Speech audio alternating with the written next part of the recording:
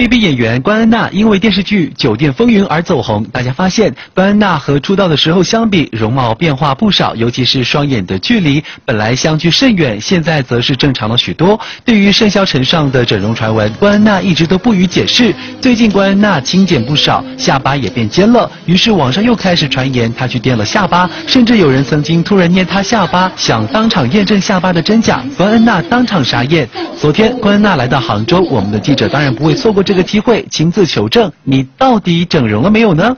真的，嗯，不会呢。我你看到我真人，你都会知道呢。呃，所以我觉得他们每一天都会讲不同的东西，我觉得挺有趣的。出道即将十年的关恩娜，多年来外界关注她的是绯闻多于一切。拍电视剧与 TVB 小生吴卓羲的一段绯闻翻炒多年，至今仍有人提起。如今她加入华纳唱片，获得才子方大同监制新歌，再度恢复歌手身份。关恩娜坦言，入行八九年，现在终于感受到做歌手的感觉，希望两。年内能够达成在红馆开演唱会的心愿。